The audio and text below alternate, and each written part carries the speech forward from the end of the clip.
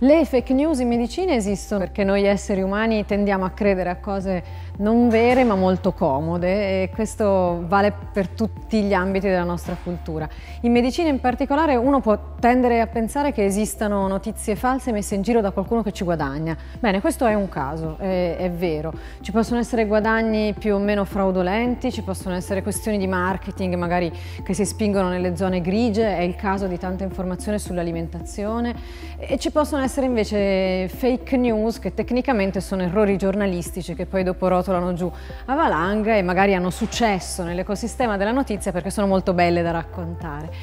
C'è però da dire che la ragione vera del successo delle fake news e quindi anche della loro esistenza è il fatto che a noi piacciono un sacco, che noi tendiamo a cliccare sopra le notizie di salute più che sulle altre notizie perché più spesso ci riguardano, perché più spesso ci sentiamo toccati, mangiamo tre volte al giorno, quindi è ovvio che siamo sempre molto interessati a quello che mettiamo nel piatto e perché colpiscono in maniera molto profonda le nostre emozioni, malattie, drammi familiari, personali, situazioni di vulnerabilità, ovviamente sono eh, anche le cose nelle quali impegniamo molto la nostra, la nostra emotività.